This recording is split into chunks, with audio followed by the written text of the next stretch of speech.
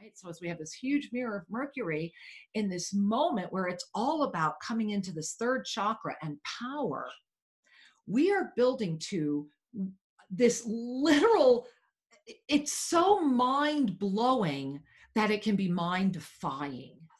Do you understand what I'm saying? This is what I was mind writing. In, right. Mind blowing can become mind defying. And so I, I'm just I'm sharing that with you because we're at that moment of are, are you ready to have your mind blown or are you ready to have your mind defied? And what I mean by that is is that if you keep arguing with it, you'll stay stuck in it.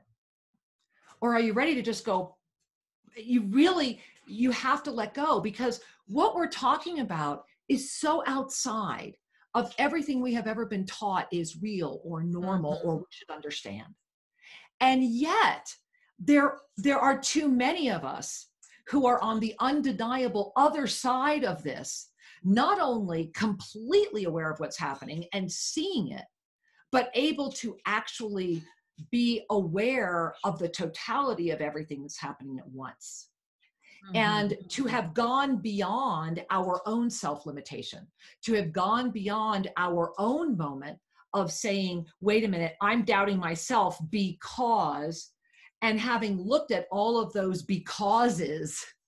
And that's what Mercury is doing right now. That's what's amplifying right now is that all of those becauses are in front of us because just if we can step, step, step it. And what I mean by step, step, step it is say, look, go back to the foundation of your spiritual essence, which is you absolutely know you are an eternal being having an experience through a body of form. You got to start there, right? So let's building block one, right? The four knowns, right? Let's just bring out the four knowns, right? Because that's what it is, the four knowns. So, you know, I am not this body, right? So, so we could be moving through the four four knowns, and maybe, maybe as I'm sharing that with you, maybe that's what we need to do, because that builds what I'm talking about, which is once you accept okay i know this then i know i know that past lives are not fiction. I know that past lives are absolutely real. I know for a fact that you know this is a culmination of many other experiences. I'm aware of that at, at whatever level whether it's an essence or not because that's a building block of consciousness it really is because it expands the limitation of this yeah. is it right? Right? Right right? And so we talk about that and we build upon that getting to the moment then well if all of that if i'm really authentic right? If i'm really nakedly authentic if i'm really walking that walk then if i honestly do own all of that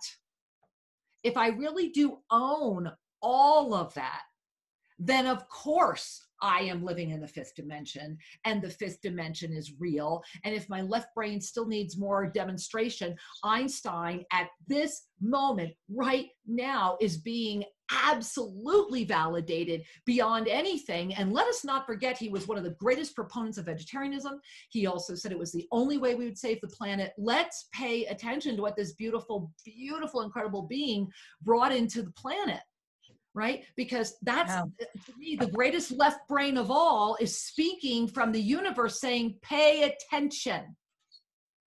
So I think that's where we're at right now. Wow. And I, I think that this week, like last night, were you there when I, oh, mm-hmm. Jess, it was horrible when I saw those clubs beating my head and crushing my skull. And, uh, yeah. and I, here I am teaching you guys sharing all of this and i kid you not i am having a completely other experience right here. And it was this nasty wooden long wow. club with um, metal spikes like hand chiseled black metal spikes. And i remember the minute i felt it hit me and i went down while i was teaching you guys. Wow. And and wow. you know and that's happening a lot lately. I'm remembering when I was in this little cave. It was like a, I think it was maybe, I want to say it was Europe somewhere. I'm thinking it was France. It might have been why I always wanted to go back to Paris. Um, but I was, it, it, it was a witch thing. And I was in this underground prison where they had like hacked out like whole, like, like somebody had hand hewn like a cave and there was a heavy metal gate in front of me and all i could do was sit there as I felt my body rotting away and dying. And it was a long, slow, horrible death. And I just remember wow. sitting there there was nothing I could do. In the clothes they dragged me in on, and that was it. And it took like months for that to happen. And so, what it gave me was an opportunity because I finally had to get to the point where there was nothing I could do about what's happening to the physical body. It gave me the opportunity to spend those many months being and and really really coming into the presence and the empowerment we can call forward. And so I've had a few others come forward in front of me as well. All of them, you know, goodness gracious, I think it's why I'm so hypersensitive to pain in this lifetime is because I had no idea how many lifetimes I was tortured. And so we are all at a moment where that's all bullshit. None of that matters. And it doesn't mean that they're not. And see, even as I'm sharing that to you right now, they're trying again. And that's how they're coming after me this week. And this wow. is what they wow. right? Is they're putting all of that in front of me. Like right now, I feel like I'm drowning. And in this lifetime, I actually did try to kill myself by drowning when wow. I was 21. Yeah. And that's what I feel like right now. That's why I know that feeling. And so I'm sharing this with you be, for a lot of reasons. Number one, because they said it so well last night in the ensoulment. No one is immune from what's happening right now. So to believe you are is the epitome of spiritual activism yeah. and egoism and and and and absolute absolute knowing that you're refusing to look at what's really happening anyone who can't look at it and own it and that's why i'm doing it and so so and as i'm sharing this with you remember last night they said we will connect with you um, with the tone of your home? Well as i'm sharing that with you right now i'm hearing that. And it's like suspending me right? And mm-hmm. so just i guess my question is do we share to that level? Like should i be the one to kind of lead the charge and say okay look none of us is immune.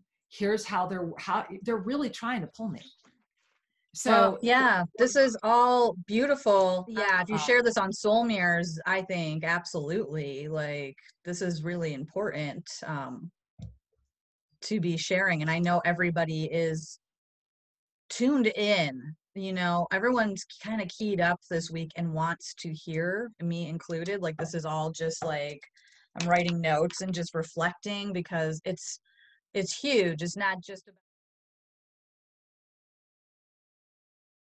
it's not just about you know the 31st being like the most powerful day of the year. I mean you said this was like a 6000 something year event. Um we're all feeling this kira. I mean it's jess and it's hiding in plain sight. You do understand that by bringing this in on the 31st this is that moment where and why are they showing me this week all the times i've been tortured killed whatever for being a witch you know when all i was doing was helping yeah. women deliver babies you know or whatever right. um, and so what what's so important here to remember is that this is the greatest attack on women you will ever see. Yeah. You're never going to mm-hmm. see the divine feminine attacked more than you will starting right now. And you know, I woke up this morning to see, you know, I don't I don't look at mainstream or anything and I'd actually been off even deeper than normal, not even looking at email for a few days. And the first thing I saw was what the United States has done to their Supreme Court. This is the greatest attack on women you have ever. Did you seen. hear what happened to our um, governor too? There was uh, yes. militia groups that tried to yes. kidnap her, that like literally, woman. and put her on yeah, trial.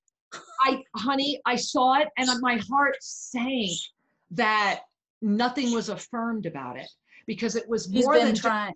Yeah. yeah. she's been really trying to call it out. You know, I mean, she's God definitely, really, truly. I mean, she really is exemplifying a strength and an empowerment in the face of all of it and and calling on it to be called out you know but it's not but it's you know but but she's in a she's in a feminine wrapper. But and yeah, that's why i'm saying exactly. she's being attacked because she's a woman.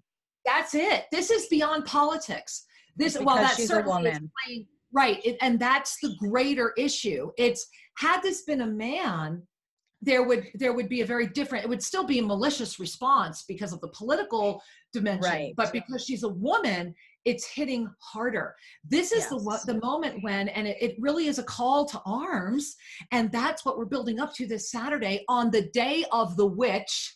Take that in. Yes you know, I, right. I mean take that in. On the day where it's okay to be horrid and gory and and to be as evil as you can be. And and and in the name of fun we're just joking. And this of course the consciousness wheels would collide on that day because yeah. that day carries all around the world. It's not just limited to one country and it has its own ideology and it calls out this is like christmas for that type of energy. So think about this if you have the fourth dimension right now squeezing down onto the third, this is the fourth dimension's Christmas.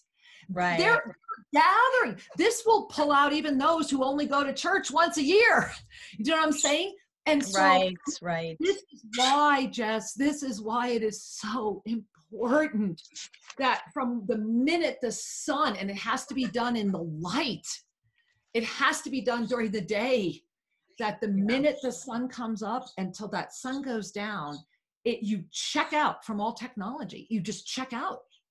Check out for the day of all technology. That means no interface with technology. You remember what it's like to live a day without the dependence of technology, and that you give yourself the gift of presence through silence.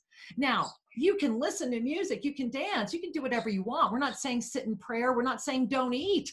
Make a feast, right. share with your friends, smile, learn how to understand each other in other ways, write notes. But it's a it's a moment that says, I'm going to take this one moment to let the earth know, earth, mine, heaven, and above know that I am here and I am not addicted to the distraction. And can you give yourself just even one day to look at that addiction, one day to notice how many times it calls during the day, to re- really recognize and remember I am. And then the minute the sun goes down, turn it all on. You know, do whatever you do whatever your heart calls you to do, but it has to be done during the day. And so that's the other passion that I'm feeling we need.